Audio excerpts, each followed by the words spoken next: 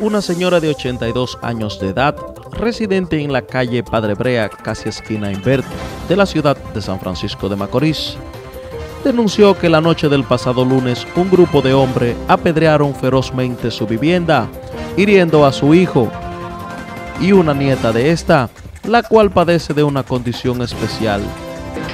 Había una música muy alta, aquí hay una muchacha que es autista, eh, la música alta la desespera como las 12 de la noche más o menos, y ella se desesperó y se, desmayó.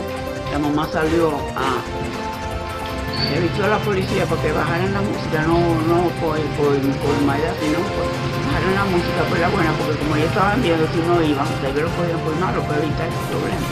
Entonces ella salió con la niña en, materno, y ya llegó nerviosísima, ¿cómo sigue esa música? Tuvieron que ponerle inyectarla y durar como media hora con ella para tranquilizarla. Entonces en eso vinieron ellos y, se metieron a la fuerza, me rompieron la, ventana. ¿Ellos quiénes? A Papito, Joey y Félix. Y, Félix.